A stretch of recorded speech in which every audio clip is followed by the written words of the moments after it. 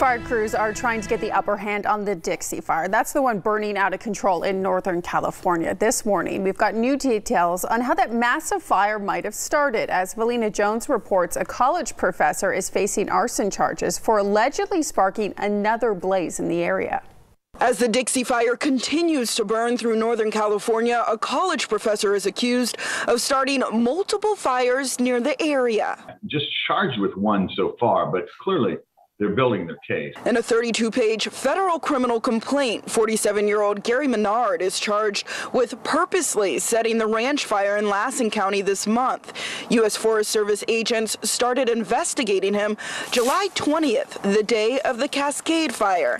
Investigators eventually placing a tracking device on his car after a witness there says they saw Maynard come from the area where the fire sparked, saying he appeared mentally unstable, quote, mumbling a lot and having bipolar-like behavior. While tracking his movements, they believe he started more than two fires, explaining it appeared that Maynard was in the midst of an arson-setting spree. Attorney Mark Reichel spent a decade defending federal cases, including arson. They really went quickly to get warrants on his phone, a tracker for his vehicle, and they kept this person as a big suspect right away. Court documents suggest the suspected arsonist at one point worked at Santa Clara University.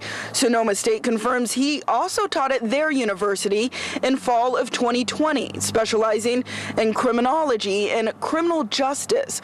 Maynard denies the allegations. Once arrested, he told officers, quote, I'm going to kill you, pig.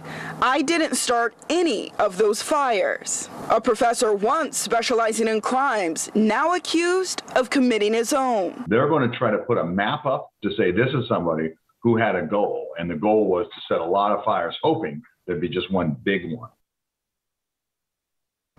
Hmm. Well, California's biggest wildfires leading to widespread evacuations of livestock and urgent efforts to care for the animals that have been left behind.